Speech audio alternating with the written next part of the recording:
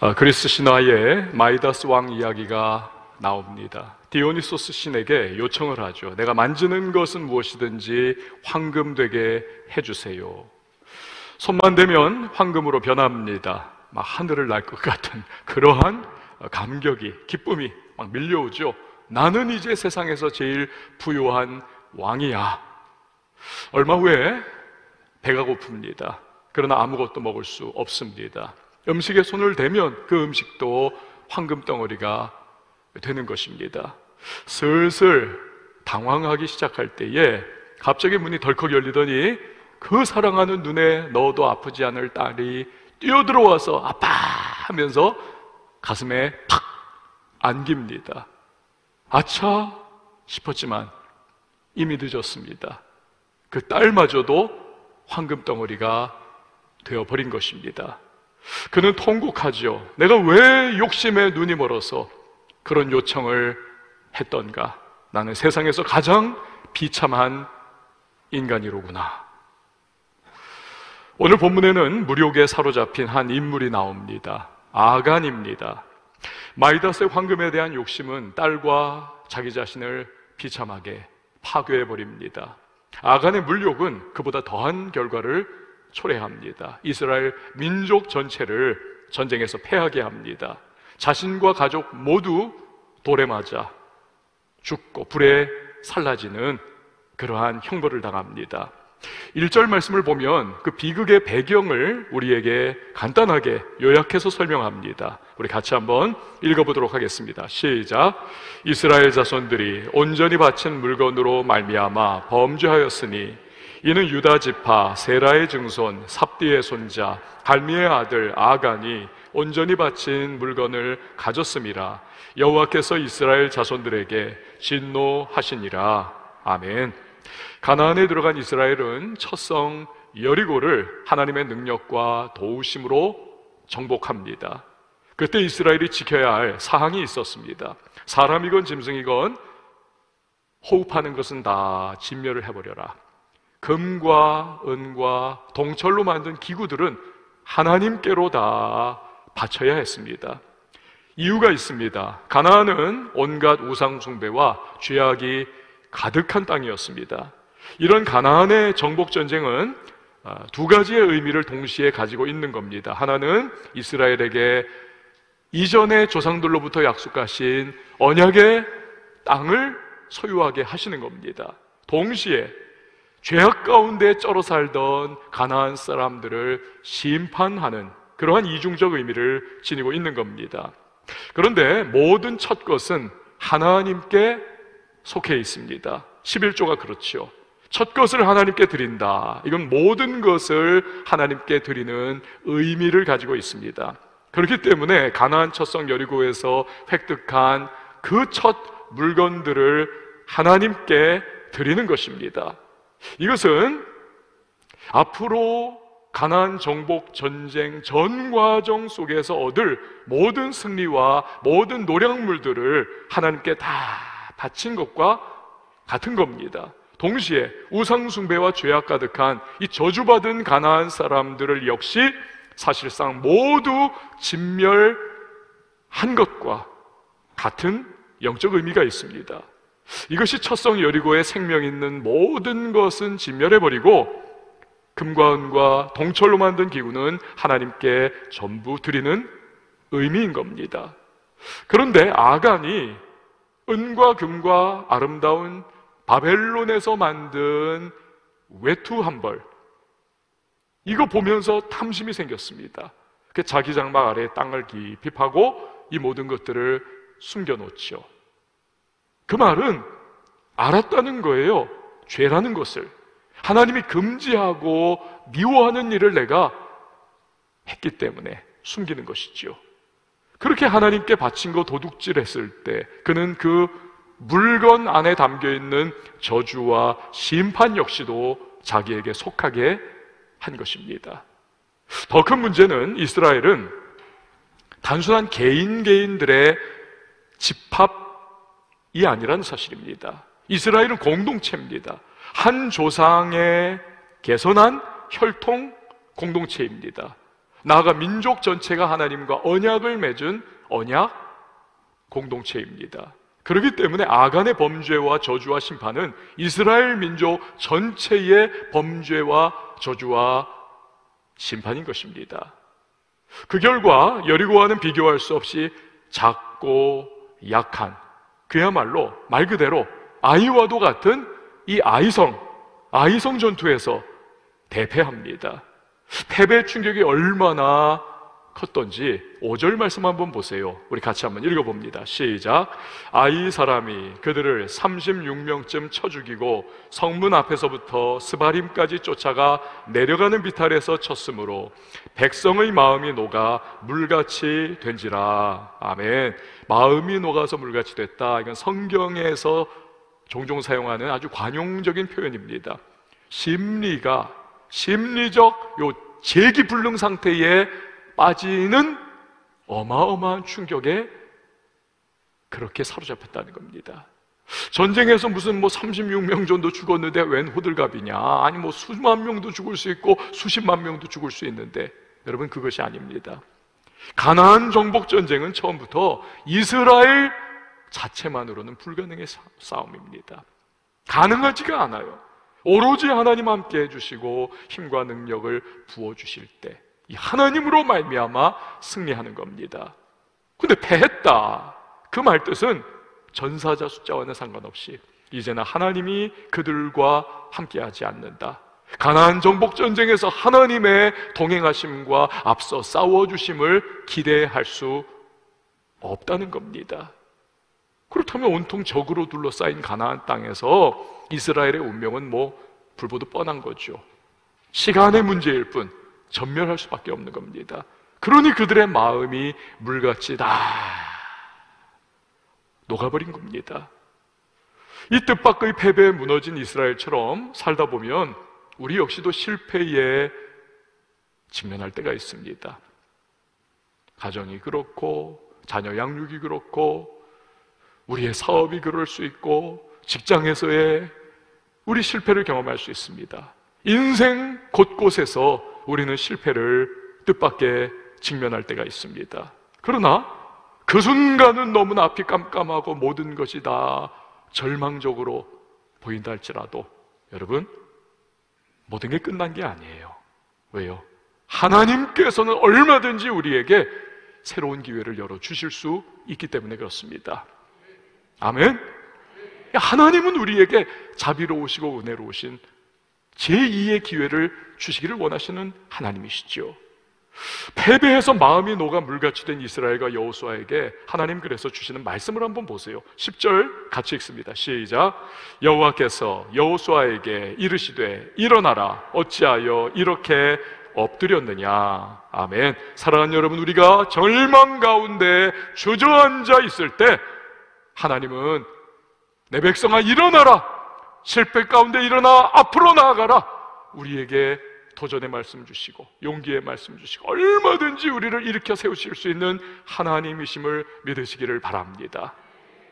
자, 그렇다면 우리가 어떻게 실패를 딛고 일어날 수 있을까요? 오늘 본문을 통해서 그 해답을 찾아봅니다. 첫 번째로 인생 주도권을 하나님께 드려야만 합니다. 저를 한번 따라해 주세요. 인생 주도권을 하나님께 드리자.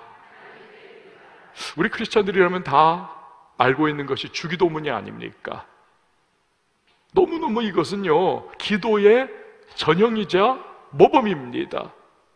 우루과이의 한 성당 벽에 아주 특이한 주기도문이 써 있다고 합니다. 하늘에 계신 이라고 하지 마라. 세상 일에만 빠져 있으면서 아버지라고 하지 마라. 너 혼자만 생각하며 살아가면서 아버지의 이름이 거룩히 여김을 받으시오며 라고 하지 마라. 자기 이름을 빛내기 위해 안간힘 쓰면서 아버지의 나라가 임하시오며 라고 하지 마라. 물질 만능의 나라를 원하면서 아버지의 뜻이 하늘에서 이룬 것 같이 땅에서도 이루어지이다 라고 하지 마라. 내 뜻대로 되기를 기도하면서 오늘날 우리에게 일용할 양식을 주옵시고 라고 하지 마라. 가난한 이들을 본체 만체 하면서 우리가 우리에게 죄 지은 죄를 사하여 준 것 같이 우리 죄를 사하여 주옵시고 라고 하지 마라. 누군가에게 아직도 앙심을 품고 있으면서 우리를 시험에 들게 하지 마옵시고 라고 하지 마라. 죄 지을 기회를 찾아 다니면서 다만 악에서 구하옵소서 라고 하지 마라. 악을 보고도 아무런 양심의 소리를 듣지 않으면서 아멘 하지 마라. 주님의 기도를 진정 너 자신의 기도로 바치지 않으면서 여러분 결국 무엇을 강조하는 것입니까? 입으로는 하나님을 찾아요. 그러나 가만히 보면은 내가 내 인생의 주인이 되어서 주도권을 흔들며 살아가는 오늘날 현대 크리스찬들을 찌르는 그러한 말이 아닐 수가 없는 것이지요. 이 주도권을 누가 쥐고 있느냐의 문제는 아이성 전투에서 참패한 이스라엘의 문제이기도 합니다. 2절에서 3절 말씀 보세요. 제가 있습니다. 여호수아가 여리고에서 사람을 베델 동쪽 벳아웬 곁에 있는 아이로 보내며 그들에게 말하여 이르되 올라가라 그 땅을 정탐하라 하매 그 사람들이 올라가서 아이를 정탐하고 여호수아에게로 돌아와 그에게 이르되 백성을 다 올라가게 하지 말고 2, 3천 명만 올라가서 아이를 치게 하소서 그들은 소수이니 모든 백성을 그리로 보내어 수고롭게 하지 마소서 하므로. 아멘. 이스라엘은 모세 시절부터 정탐꾼을 잘 활용을 했습니다. 여호수아 자신이 열두 정탐꾼 중에 하나로 가나안 적과 꿀이 흐르는 땅을 갔다 오지 않았습니까? 이만한 그냥 포도송이를 두 사람이 하나씩 어깨에 꿰고 와 이런 곳입니다. 보고를 했잖아요 자 이후에 정탐꾼 계속 이스라엘은 활용을 했습니다 특별히 여리고 정탐 너무나 성공적 승리로 마무리 되지 않습니까? 그러자 여호수아는 아이성 전투를 앞두고 또다시 정탐꾼을 보냅니다 여호수아의 기대에 걸맞게 그들은 아이성에 대해서 아주 정확하고 분석 잘한 그러한 보고를 해요. 첫 번째, 적군은 소수라는 것입니다. 두 번째, 그러기 때문에 많이 보낼 필요 없고 우리 쪽에서 2, 3천 명만 보내면 족하다는 것입니다. 특별히 아이를 치게 하소서. 이 정탐꾼들이 말을 해요. 여기서 치다라고 하는 이 단어는요, 한 번의 타격으로 상대방을 치명상 입힐 수 있는 심지어는 죽음까지 그렇게 몰아갈 수 있는 타격 이걸 활용하는 단어입니다. 그러니까 이런 확실한 보고를 받고 여호수아는 그대로 실행을 한 것입니다. 결과는 처참했습니다. 4절 말씀 우리 같이 읽어보죠. 시작. 백성 중 3천 명쯤 그리로 올라갔다가 아이 사람 앞에서 도망하니 3천 명이 다 걸음 하나 살려라 도망쳤다는 거죠. 그리고 36명 정도 전사자가 생겼더라. 그 결과 백성의 마음이 물처럼 다 녹아내렸다는 겁니다. 여러분 문제가 뭡니까? 여호수아는 지나친 자기 확신에 사로잡혀 있더라는 거지요. 이겼었거든요. 엄청난 대승을 이전에 거뒀거든요. 그런 자기 확신에 빠져서 이스라엘의 진정한 주권자가 되시는 하나님은 온데간데 없더라는 겁니다. 싹 사라져 버렸어요. 그 분명한 증거가 이 아이성 전투의 상황을 보면요. 여호수아, 이 기도의 사람입니다. 기도했다는 내용이 하나도 없습니다. 자기 확신 가운데 그냥 인간적 계산과 정보 분석 가지고 밀고 나갔던 거지요. 사랑하는 여러분, 주님이 여시면 닫을 사람 없고 주님이 닫으시면 열 사람이 없는 줄 믿습니다. 다윗이 골리앗 앞에서 외치죠. 전쟁은 여호와께 속한 것인즉 하나님께 달려 있는 겁니다. 그 우리가 송구영시 때늘 찬양하잖아요. 지금까지 지내온 것 주의 크신 은혜라. 내 생각과 능력과 지혜와 힘 아니라는 겁니다. 여호수아와 이스라엘은 제 아무리 승리가 확실해 보여도 기도하면서 그렇다면 전투의 주도권을 하나님께 드리는 것이 마땅했던 것입니다. 영적 실패는요, 필연적으로 현실의 실패로 그대로 투영됩니다. 이건 여러분 분명해요. 요한 3서 2절에 뭐라고 말씀합니까? 살아가는 자여 내 영혼이 잘됨 같이 내가 범사에 잘 되고 강건하길 내가 간구한다. 영혼이 잘 될 때, 이 영적 세계의 파장이 현실 세계를 지배한다는 겁니다. 하나님께서, 그래? 너희들 그렇게 잘 분석했어? 너희들 자신 있어? 너희들이 이 전쟁의 주도권을 갖기를 원해? 한번 해봐. 하나님이 그냥 이렇게 지켜보시는 거예요. 나가서는 팍싹 깨져버리지 않습니까? 종교개혁가 마틴 루터가 이런 말을 했습니다. 무엇이든 당신의 마음이 믿고 의지하는 대상, 그것이 진정 당신의 하나님이다. 여러분, 이건요, 생각하면 할수록 참 맞는 말입니다. 내가 내 인생 주도권 틀어 쥔 채 사는 것은 내가 하나님의 자리를 찬탈하는 겁니다. 내 마음과 심령의 보좌에 좌정하신 하나님을 밀어내고 내가 거기 털썩 앉아가지고는 내 뜻대로 계획대로 생각대로 휘젓는 것이지요. 그럴 때 한 치 앞 볼 수 없는 우리에게 다가오는 결과는 뭐 당연해요. 한두 번은 어쩌다가 될 수 있습니다. 그러나 계속될 수 없습니다. 반드시 추락하고 무너지고 실패합니다. 한두 번 되면 될수록 높이 올라간 그 상태에서 추락하면 결과가 더 처참해지는 것이지요.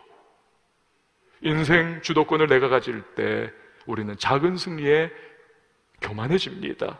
이 정탐꾼들의 말을 보시면 교만이 막 그냥 풀풀 배어 있는 것을 우리가 알 수 있어요. 그들은 소수이니 모든 백성 그리로 보내어 수고롭게 하지 마소서.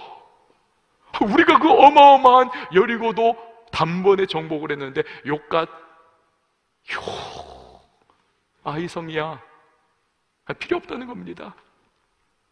여러분 동물의 왕국 보니까요 이 사자나 호랑이가 토끼같이 작고 그냥 연약한 동물 이걸 잡을 때도 최선을 다합니다. 막 달려가면서 그냥 온 힘을 다 쏟아가지고 최선을 다해요. 하물며 잠시라도 하나님 은혜 없이 살아갈 수 없는 이스라엘이 또 우리가 교만에 빠져서야 되겠습니까? 필패할 수밖에 없는 거죠. 교만은 패망의 선봉이요. 거만한 마음은 넘어짐의 앞잡이라고 하신 자문의 말씀 그대로 될 수밖에 없는 거죠. 아이성 전투에서 패배하고 완전히 무너진 이스라엘. 그러나 이 복된 소식은 뭡니까? 그들은 실패를 딛고 일어섭니다. 그것은 그동안 교만함으로 틀어졌던 이 주도권 전쟁, 현실의 전쟁 앞에 있는 주도권 전쟁, 누가 주도권을 쥐느냐? 하나님이냐? 우리냐? 여기서 다시 한번 우선순위가 제 정비가 되는 겁니다. 이걸 보여주는 것이 6절에서 10절이에요. 제가 읽을 테니까 여러분 눈으로 한번 따라와 보세요.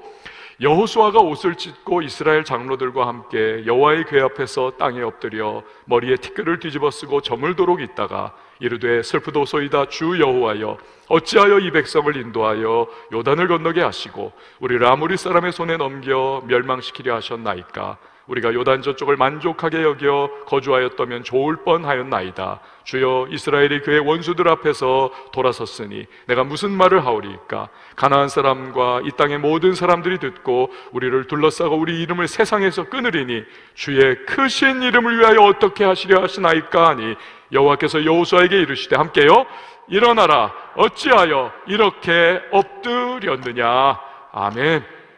어떤 목사님이요 아주 위트 있는 말을 했습니다. 이 내용 가지고 아이 앞에서는 아이가 되라. 이게 무슨 말입니까? 아이성과 같은 인생의 실패를 맛보았다면 이제 우리는 그 인생 실패 앞에 설 때에 아이와 같이 그 부모를 매달려 찾고 도와달라고 울면서 그렇게 구하는 아이와 같이 하나님 앞에 기도하면서 주의 도우심과 이 실패를 극복하여 디디고 일어날 수 있는 힘과 용기 달라고 주 앞에 기도해야 된다는 겁니다. 아이 앞에서는 아이처럼 굴어야 한다. 여러분, 그렇습니다. 기도는요, 아이가 될 때, 겸손해질 때 기도할 수 있습니다. 가만 보면 기도 안 한다는 건 사실은 여러 가지 이유가 있겠지만 그 깊은 내면으로 들어가면 사실은 교만이에요. 내가 내 인생의 주도권 쥐고 있고 그것이 성공적일 거라고 하는 착각에 빠져 있는 거거든요. 내 인생의 주도권을 하나님께 드리는 사람이 기도할 수 있습니다. 그리고 기도하며 하나님께 인생 주도권 돌려드릴 때 묶여있는 실패의 실타리를 주께서 풀어주세요. 다시 일어날 수 있는 힘과 용기를 공급해 주시는 것입니다. 한국 교계에서 큐티로 정평이 나 있는 여자 목사님이 한 분 계세요. 참 대단한 분인데 그분의 간증입니다. 참 와닿았어요. 소개를 해드립니다. 이분 4대째 모태 신앙인입니다. 모태 신앙인. 여러분 모태 신앙인이 뭔지 알죠? 전도도 못해, 이것도 못해, 저것도 못해. 4대째 모태 신앙인이에요. 근데 이분 고백은 내가 내 인생의 주관자였다는 겁니다. 돌아보니까. 우리 사람이요, 아무리 뭐 말로는 이렇다 저렇다 해도 딱 보면 결혼 배우자 대상자를 누구 찾느냐 딱 보면 이 답이 나오는 겁니다. 결혼 대상자를 누구로 선택하느냐. 이거 보면 그 신앙의 결론이 나와요, 사실은. 이분이요, 꿈이 있었습니다. 서울대 기악과 피아노과를 나왔거든요. 꿈이 피아노 교수가 되는 겁니다. 아버지 사업 망했어요. 후원이 안 돼요. 그러니 이분이 그 방법을 구하는 데에서 남편감. 아, 재정적으로 확실하게 나를 밀어줄 수 있는 사람을 내가 남편감 삼아야 되겠다. 믿던 안 믿던 상관없다. 교수 돼야 해. 결혼을 했는데 확실하게 밀어줄 수 있는 아주 그냥 좋은 집안의 의사하고 결혼을 했습니다. 남들이 보면 정말 좋은 감은 다 갖추고 있는 트로피 와이프라고 하잖아요. 트로피 와이프. 아주 그냥 성공한 사람이 멋진 여자 결혼하는 거. 그런데 그 반대와 같은 그런 상황이 된 겁니다. 아주 그냥 멋진 남자를 이제 딱 결혼해가지고 사는 트로피 허즈번드 비슷하게 된 거예요. 근데요, 이 불신자 의사 남편, 그때부터 광야가 시작이 된 겁니다. 남들이 보면 너무너무 부러워하는 상황인데 그 시집살이 5년 동안 지옥 같다는 거예요. 광야를 걸어가는 남편은 철저하게 신앙을 비웃습니다. 무하게 시어머니는 그냥 부지런한 것이 그냥 이게 하늘을 찔러요. 그래가지고는 새벽 4시부터 다 깨워가지고 그때부터 아침까지 계속 온 집안에 먼지 하나 남지 않도록 청소하는 청소의 은사를 받은 분이에요. 그래가지고 그냥 이 집에 들어온 며느리도 깨워가지고는 아침부터 진공 청소기 막 돌리죠. 그 다음에는 물 청소 다 하게 하죠. 그 넓은 집안을 다 두 시간씩 아침마다 매일 신앙 하나 없는 가문에 그렇게 혹독하고 어머니는 굉장히 날카롭고 완고하고 남편은 그냥 늘 비웃고 그냥 대화도 안 되고 막 지옥 같은 상황. 결국 5년 만에 가출을 합니다. 근데 남편도 시어머니도 전화 하나 안 하더라는 거예요. 그러니 그렇게 어디로 갑니까? 흘러 흘러 기도원에 들어갔습니다. 기도원에 가니까 결국에는 뭘 하게 돼요? 기도를 할 수밖에 없는 겁니다. 기도를 해요, 하나님. 내 신세 타령을 쫙 하는데 어느 순간 성령께서 마음을 탁 무너뜨리시는데 그렇구나. 내가 내 인생에 주도권을 쥐고 지금까지 멋대로 휘두르며 살았더니 이 꼴 됐구나. 자백을 합니다. 통곡하면서 하나님께 나 이제 인생 주도권 주께 드리겠습니다. 그렇게 결단 내렸어요. 근데 하나님께서 감동 주시기를 집에 돌아가라. 죽기보다 싫더라는 거예요. 그런데 인생 주도권 드리기로 결단 내렸으니 이거 순종해야 되지 않습니까? 납덩이 같은 발걸음을 내디디면서 겨우겨우 집에 들어갔습니다. 그렇게 또다시 시작이 된 거예요.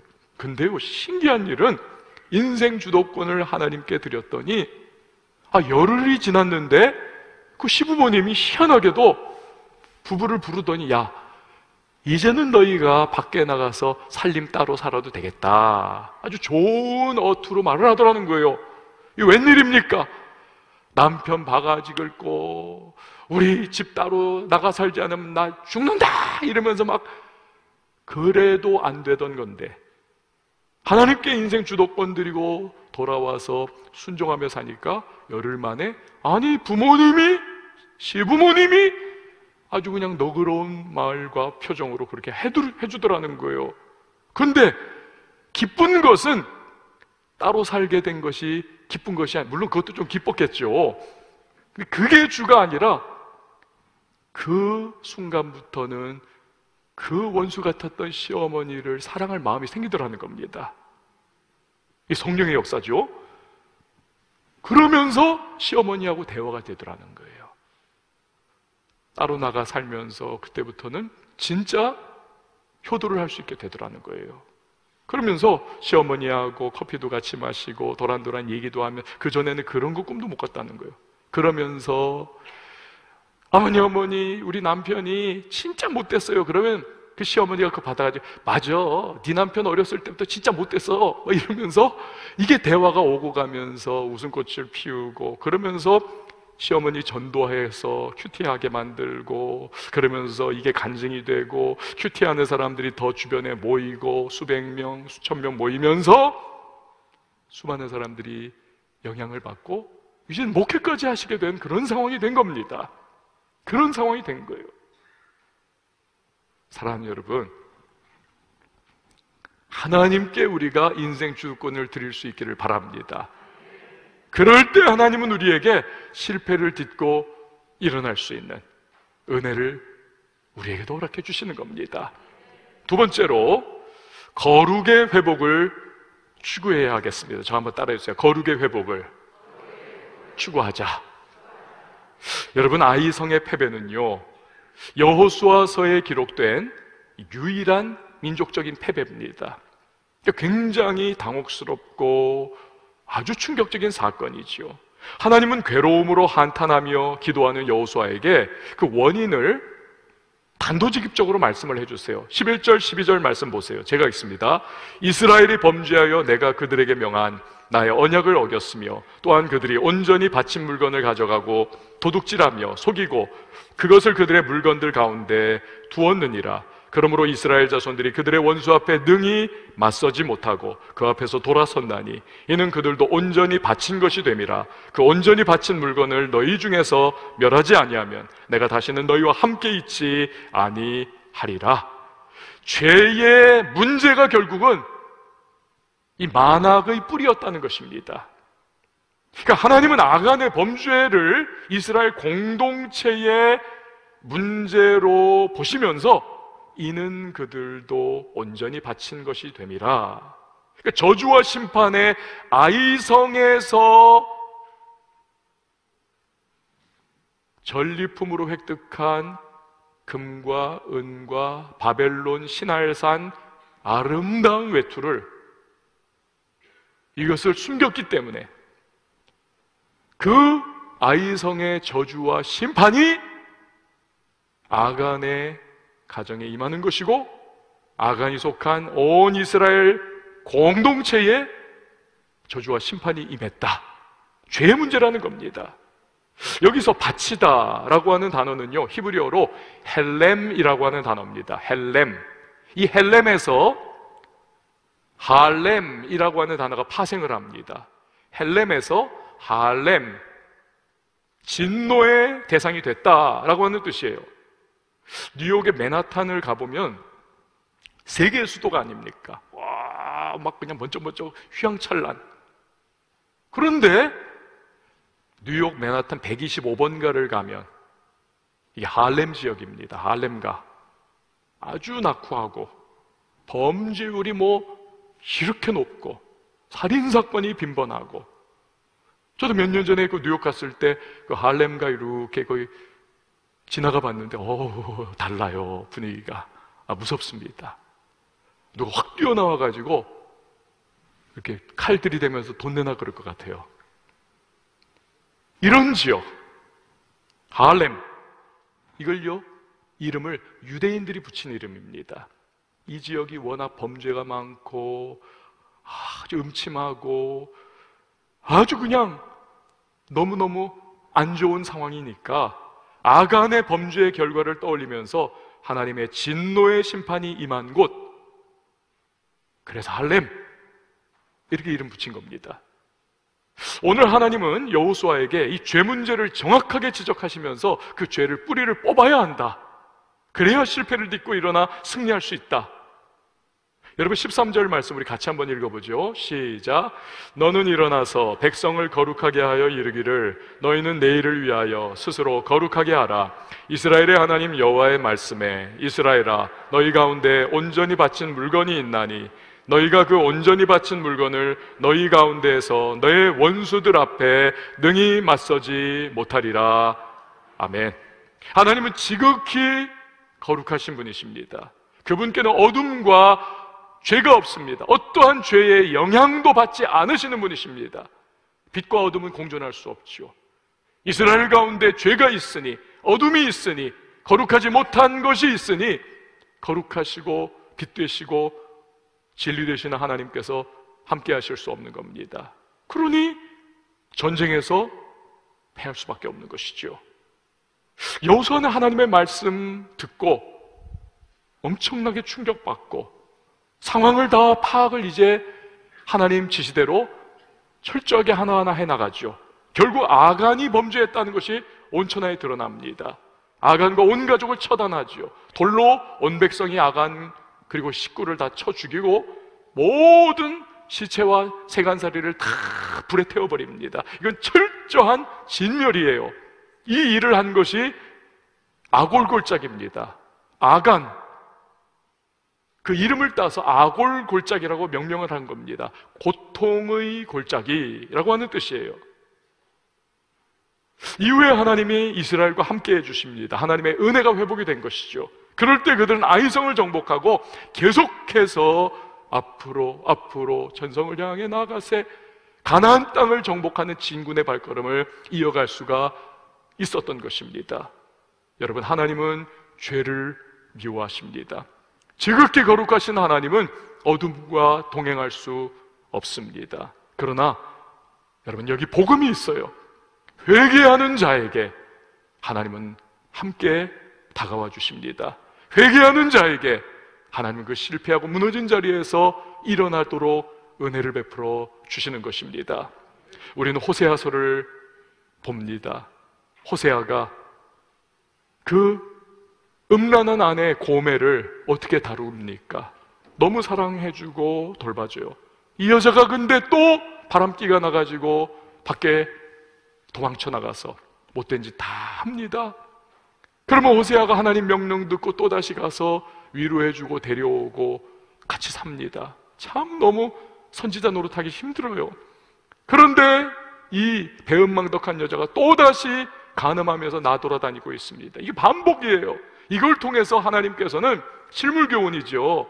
하나님의 마음이 이스라엘을 향해서 어떤 것인가? 이스라엘이 그 하나님 마음에도 불구하고 배은망덕한 영적 간음, 즉 우상 숭배하고 죄에 빠지는 모습을 하나님이 극명하게 보여주기를 원하셨던 겁니다. 그런데 이 호세아서에서 하나님이 놀라운 말씀을 주세요. 호세아 2장 14절 15절 말씀 보세요. 그러므로 보라 내가 그를 타일러 거친 들로 데리고 가서 말로 위로하고 거기서 비로소 그의 포도원을 그에게 주고 아골 골짜기로 소망의 문을 삼아 주리니 그가 거기서 응대하기를 어렸을 때와 애굽 땅에서 올라오던 날과 같이 하리라. 여러분 뭐라고 하시는 겁니까? 아골 골짜기 즉 저주와 심판의 고통의 골짜기를 소망의 문으로 변화시켜 주신다는 거예요. 그 소망의 문에 들어서면 회복이 있습니다. 치유가 있습니다. 축복이 있습니다. 은혜가 있습니다. 소망의 문을 들어서는 자에게 영원한 천국이 열리는 것입니다. 여러분 이게 무엇을 의미하는 것입니까? 죄인된 우리들에게는 저주가 있고 심판이 임하는 겁니다. 그러나 그러한 아골골짜기가 소망의 문되게 하시는 분이 계셨어요. 누굽니까? 우리 주 예수 그리스도이신 것입니다. 주님께서 아골 골짜기에 우리의 형벌과 우리의 저주와 우리의 영원한 심판을 짊어지고 십자가로 십자가로 나아가셨습니다. 그분이 피 흘리셨고 채찍에 맞으셨고 그분이 가시면류관 쓰시고 결국 자기의 모든 생명까지도 내어 주셨습니다. 아골골짜기에서 그런데 그 아골골짜기가 십자가로 말미암아 우리의 영원한 구속과 우리의 생명과 우리의 치유와 우리의 죄사함과 우리의 용서와 하나님과의 관계 회복에 소망의 문이 활짝 열리게 된 것입니다. 이것이 예수 그리스도께서 하신 일이에요. 아골 골짜기로 소망의 문이 되게 하신 것입니다. 그렇게 예수께서 모든 일 다 이루어 주셨기 때문에 우리가 할 일은요. 여러분 회개만 하면 되는 겁니다. 우리가 전심으로 하나님 앞에 나아가 나의 잘못과 죄악을 고백하고 나 자신을 주님 앞에 회개하면 주님께서는 우리의 실패와 우리의 고통과 우리의 아골골짜기를 변화하여 소망의 문으로 생명으로 우리의 새로운 도전의 힘과 능력과 용기를 부어주신다는 사실을 믿으시기를 바랍니다. 결국 여러분, 사람이 망하는 것은요, 회개하지 않아서입니다.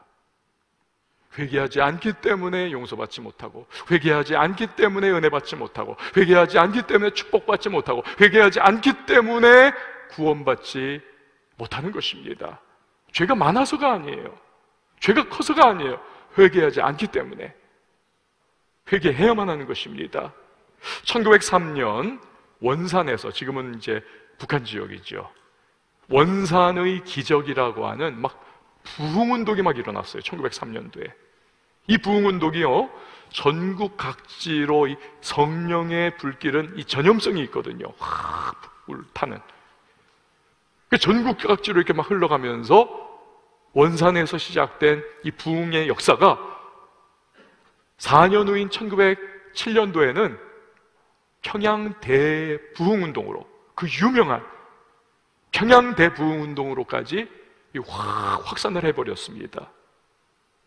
그런데 이 원산의 부흥운동은요, 처음에 하디 선교사님의 회계로 시작을 했습니다. 이분이 처음 한국 선교사로 와가지고 13년 아주 고생하면서 사역을 했지만 열매가 없는 거예요. 너무 속상하고 괴롭고. 근데 분노가 막 일어나요. 왜? 이 조선의 기독교인들이 말만 기독교, 무늬만 크리스찬인 거예요.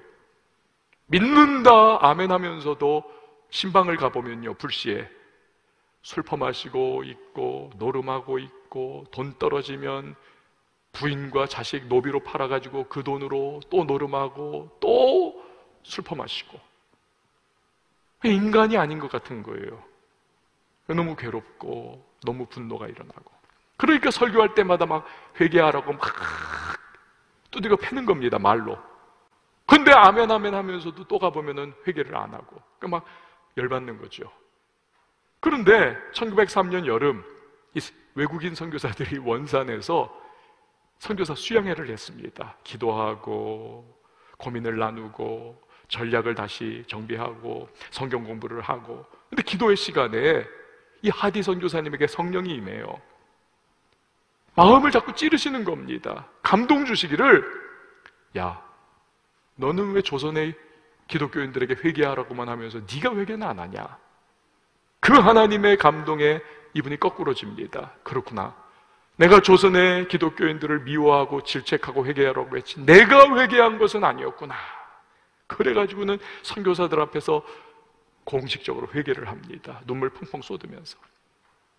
그런데 다른 선교사들도 마찬가지였던 겁니다. 자기들도 다 회개하고 그러면서 그 회개 운동의 불꽃이 막 퍼져나가기 시작을 해요. 사람들이 변화하기 시작합니다. 그러면서 수년 동안 이게 쫙 퍼져가면서 드디어 1907년에 평양에서 장대현 교회에서 길손주 목사님께서 앞에 나가서 공식적으로 모든 모여있는 사람들 앞에 회개를 하죠. 내가 친구가 죽으면서 재산을 정리하여 남아있는 그 미망인에게 살 길 열어주라고 했는데 내가 그거 착복을 했습니다. 내가 아간과 같은 놈입니다 하면서 막 통해 자복하면서 이 김선주 목사님이 회개를 해요. 그 회개의 모습에 사람들이 자기들도 다 나도 회개합니다. 한 사람 한 사람 다 나오면서 몇 날 며칠 걸려가지고 눈물바다가 되는 통해 자복의 역사가 일어나고 거기에 성령이 막 불같이하면서 그 유명한 1907년 평양 대부흥운동이 일어나게 되었던 것입니다. 그 놀라운 부흥운동의 결과 10년 후 1919년 3.1 운동 때 민족 대표 33명 중에 절반 이상이 기독교인일 정도로 이 땅에 기독교의 대부흥의 역사가 일어났던 것이고 우리는 지금 그 아름다운 회개로 인한 부흥의 열매를 지금 맛보고 있는 겁니다. 할렐루야. 사랑하는 성도 여러분, 하나님은 회개하며 거룩의 회복을 추구하는 사람들 기쁘게 여기시는 줄 믿으시기를 바랍니다. 아무리 무너져 있고 아무리 실패한 사람이라 할지라도 회개하며 주님 앞에 다시 한번 주의 관계를 정립하고 회개하며 거룩을 추구하는 사람 하나님은 그 실패의 자리를 딛고 일어날 수 있는 힘과 용기와 능력을 베풀어 주시는 것입니다. 우리 인생에 실패가 찾아올 때 있습니다. 그러나 그 실패를 딛고 일어설 수 있는 비결 오늘 우리 말씀을 통해 배웠죠. 인생 주도권 하나님께 드리는 것입니다. 회개를 통해서 거룩의 회복을 추구하는 것입니다. 여러분 2022년 우리가 원하진 않아도 크고 작은 실패가 올 수 있습니다. 그때 오늘 말씀을 기억하세요. 여호수아와 이스라엘을 다시 한번 생각해 보십시오. 내 인생 주도권 누가 쥐고 있는가 정비해 보시고 또한 회개를 통해서 하나님과의 소원해진 거리를 다시 복구시키면서 거룩의 회복을 이루어나가 그 실패의 자리를 딛고 일어서게 하시는 하나님의 힘과 능력을 경험할 수 있는 우리 모두가 될 수 있기를 바랍니다.